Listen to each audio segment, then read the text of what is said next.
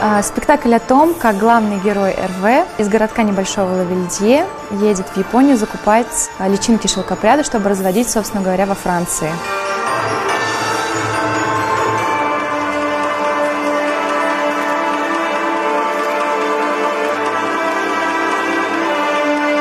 Это красивый, очень эстетичный спектакль. О том, как человек иногда мечется и не знает, где ему лучше. Например, в далекой Японии или в своей родной Франции. Я считаю, что этот спектакль про то, что хорошо там, где нас нет.